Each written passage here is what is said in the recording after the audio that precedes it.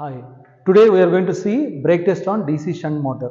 In this, the aim is to perform brake test on a given DC shunt motor and obtain the performance characteristics of the motor from the test observations. Here, the components required is ammeter, voltmeter, rheostat and tachometer. So, ammeter if you see here MC, MC means moving coil. If you take an analog meter, okay there will be mi and mc meters. Mc meters are used for dc supply.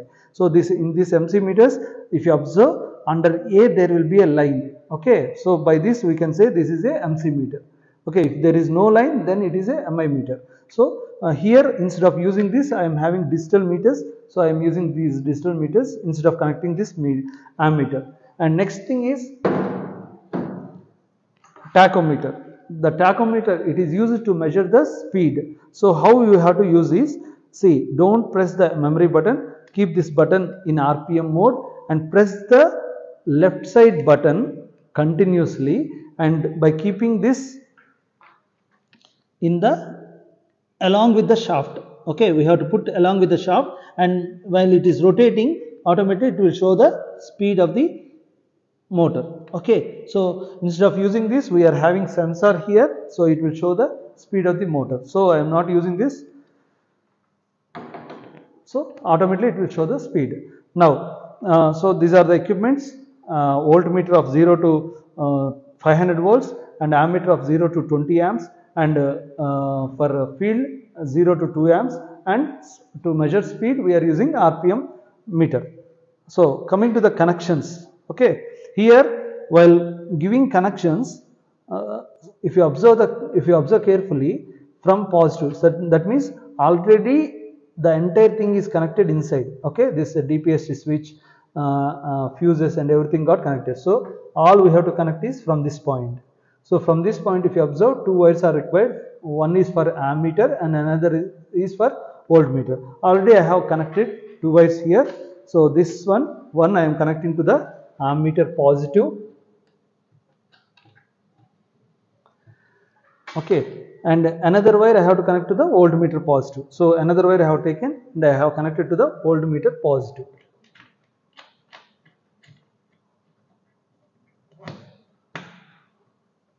After connecting voltmeter positive, so now I have completed these two wires. After that from ammeter negative to L, see LZ is a LZA or LAF, we can call Z or F. So if you observe carefully, you can see L, A, Z, okay, uh, Z or F, we can call this one as field or Z.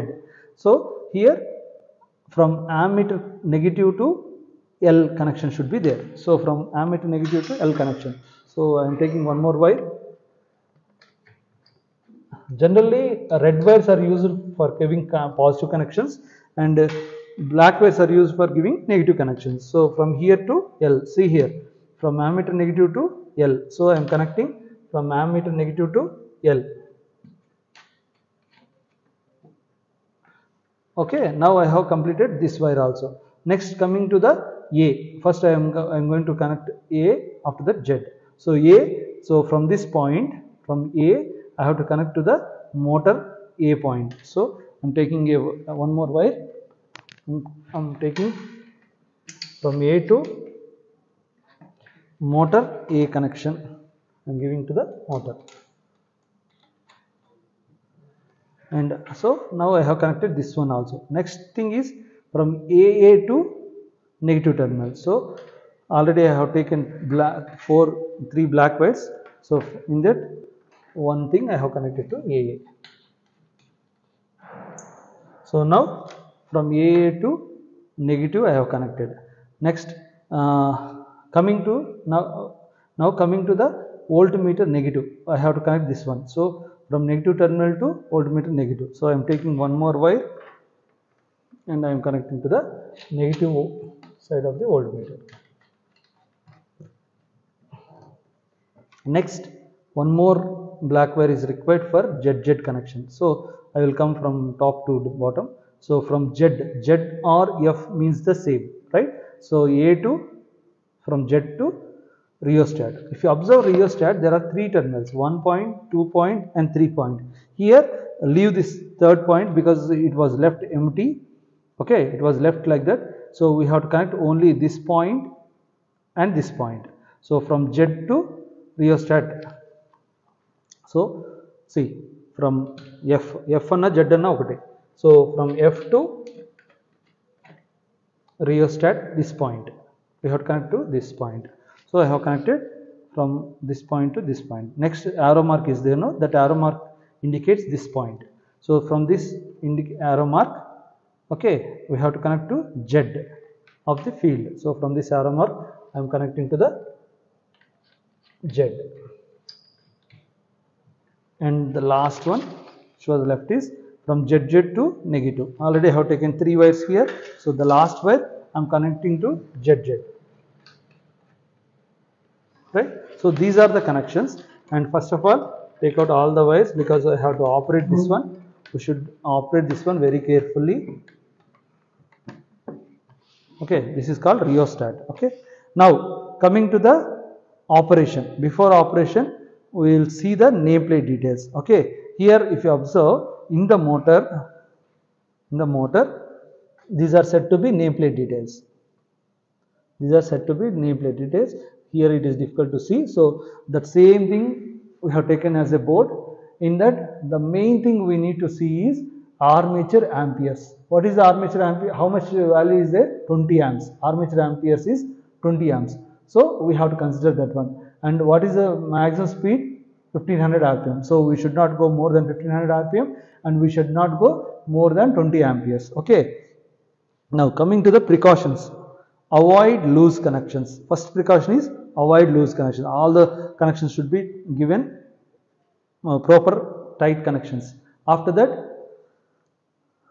after that uh, next there should not be any load at the time of starting. See the belt it is very low it is very loose very loose so it should be free. There should not be any load at the time of starting. This is the second precaution. And the fourth precaution is pour water in the drum. So here for making the drum this is called drum and here we have to pour water such that it won't uh, the drum won't get heated up when it is loaded so pour water in the drum these are the main three precautions and also the last precaution is keep the rheostat in minimum position. Minimum position means resistance should be minimum. That means whatever current is coming here, that entire current has to flow directly to this point. So resistance should be kept in minimum position. So keep the point in starting position. Clear? These are the precautions. Next procedure. Now I am switching on the supply. Now switch on DPST switch. Now I am switching on DPST switch. This is the first step. So once I have switched on, you can see the voltage. Okay, the voltage is 220 volts DC supply. So uh, after switching on, then pressure should be there, slow movement should be there. So switch on three point starter. Like that, you have to put pressure and you have to move slowly.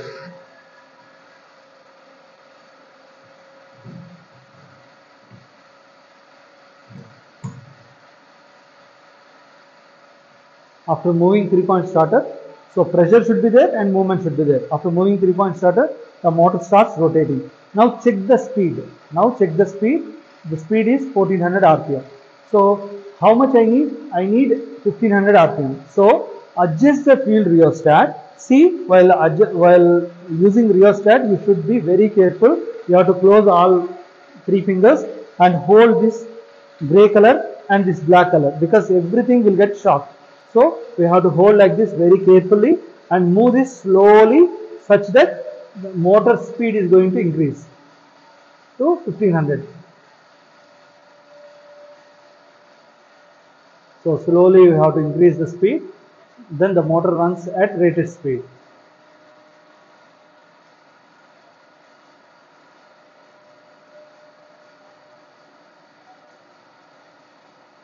okay now the motor is running at rated speed. After seeing the motor runs at rated speed then take down the corresponding readings. So here if you observe carefully these readings are said to be no load readings. These readings are said to be no load readings. In these no load readings see first of all first one is input voltage second one is load current this is this okay and third one is if field current no not required. And uh, next one is speed speed in rpm next s1 and s2 uh, values you have to take. So here we have taken no load readings. After taking the no load readings now apply the load gradually. Here applying means by tightening the squirrels so here we are tightening the squirrels by seeing the ammeter over there. Now the ammeter value is 1 point change, right? Now I am going to tighten up to 3 amps. See, see now I am tightening this up to 3 amps. So you have to observe the current continuously and you have to tighten these spirals. So now I am applying the load up to 3 amps. See, now the current is 3 amperes. So after getting 3 amperes, take down the corresponding readings. So you have to take down the V value, I value and uh, speed. Uh, see as the load increases, the speed got decreased. 1483 and S1 value and S2 value. S1 and S2 value are in cages. So it is in 0. So S1 is 0 and S2 it is going up to 2 cages. Now again apply load apply load to 5 amperes apply load to 5 amperes.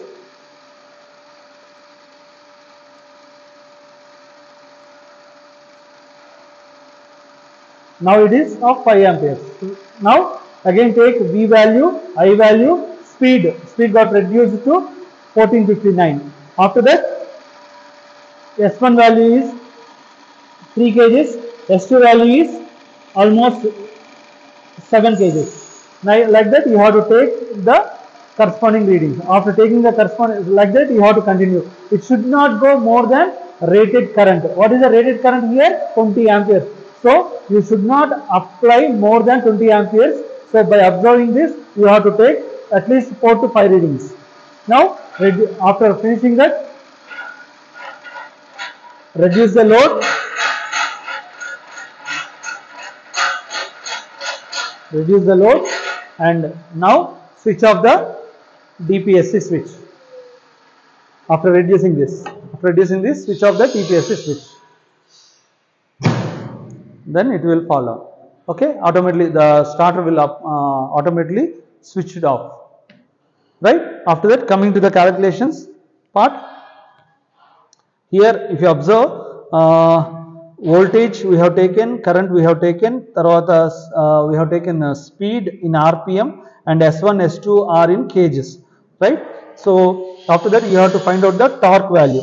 In torque value the formula is 9.81 into s into r where s is the difference between s1 and s2 where whichever value is higher that value minus lower value. So that value should be written in s. And next r is the radius of the drum.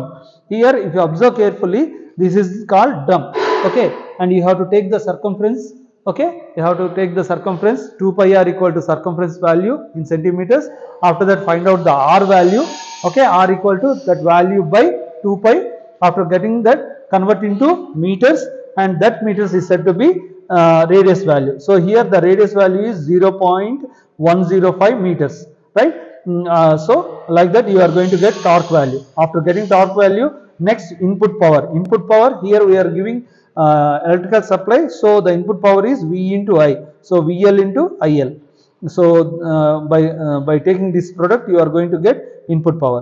After that output power. Here if you observe we are getting output power in terms of mechanical. The motor is running right? Output power is in mechanical. So mechanical output power formula is 2p equal to 2 pi nt by 60 where n is the speed in rpm n is the speed in rpm and T already we have found out uh, torque value. So, uh, that value you have to take. So, like that you are going to get output power. After that efficiency. Efficiency means output power by input power. So, if you put these values you are going to get the efficiency and the efficiency will not go more than uh, 85 percent. Okay. So, uh, output power by input power into 100 is you are going to get the efficiency. Like that you have to take down the readings. After that you have to plot the graph while plotting while draw, uh, plotting the graph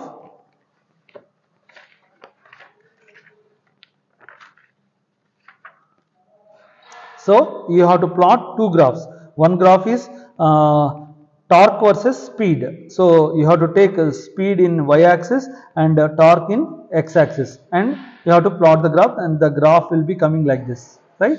And next you have to plot one more graph to show the performance characteristics. Uh, so in x-axis you are going to take output power, and in y-axis you can take efficiency, speed, torque and load current IL. So like that you have to uh, write the readings and whatever here actually we need four graphs but we are doing in one graph. So how we have to plot it uh, you have to listen it very carefully. So here whatever value suppose say you are taking the efficiency value versus output power then think that these values are at this point okay? At this point and plot the graph from these points only because for this one the initial value is 0 for this one the initial value is 0 so whatever graphs you are drawing you have to draw only from this y axis only. You should not draw from here. Then the value will get changed will get uh, you, you won't get uh, proper values. Like that you have to plot all the graphs and uh, for every graph at the last you have to indicate what type of uh, mm, uh, graph you have taken right? Thank you very much. This is how you have to continue